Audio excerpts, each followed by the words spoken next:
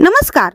महाराष्ट्रातील माय माऊली आणि बहिणींना समर्पित असलेल्या लाडकी बहीण योजनेने कित्येक महिलांच्या जीवनात परिवर्तन आणलं आहे. आज आपण याच योजनेचा लाभ घेणाऱ्या काही बहिणींच्या कहाण्या जाणून घेणार आहोत. या योजनेतून मिळालेल्या आर्थिक मदतीने त्यांनी कोणते बदल अनुभवले? कशा प्रकारे त्यांनी या रकमेचा उपयोग केला आणि त्यांच्या स्वप्नांना कसा आकार दिला? त्यांचा अनुभव ऐकताना आपण योजनेच्या खऱ्या यशाची झलक पाहू शकतो.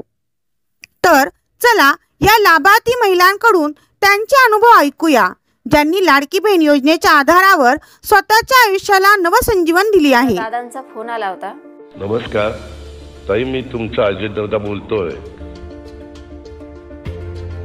की बाबा लाडकी बहीण योजनेचा तुम्ही लाभ घेतला की नाही?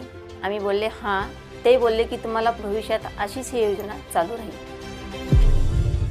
नमस्कार. माझं नाव मीनाक्षी सुनील शिंदे.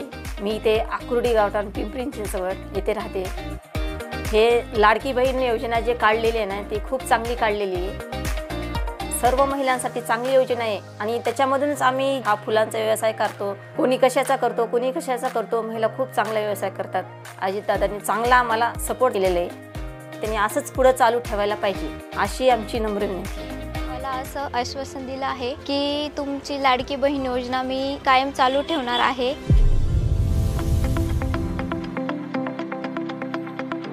नमस्कार माझं नाव हर्षदा राहुल जगताप. मी आकुर्डी येथे पंचतारा नगर येथे राहते.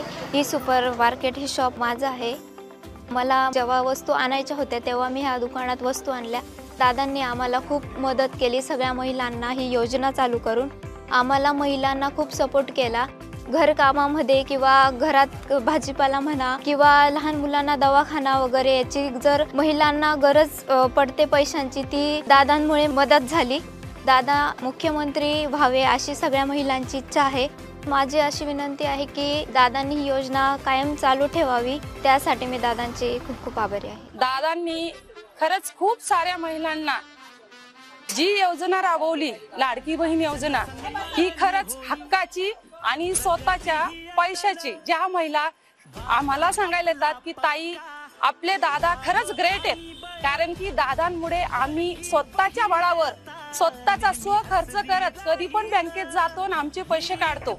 लोकांना पिंपरी चिंचवडमध्ये रस्ते हे असे रस्ते होते आमच्यासारख्या महिलांना गाडी नेताना आधी खूप त्रास होत होता पण आता गाडी नेताना एवढा आनंद वाटतो. जिकडे तिकडे गेलो का आम्ही म्हणतो आमच्या दादांनी जे रस्ते केले ते खरंच पिंपरी चिंचवड सारखं शहर हे कुठंच बघायला भेटणार नाही म्हणून मी दादांचं मनापासून आभार मानते आणि धन्यवाद देते. एकच वादा अजित दादा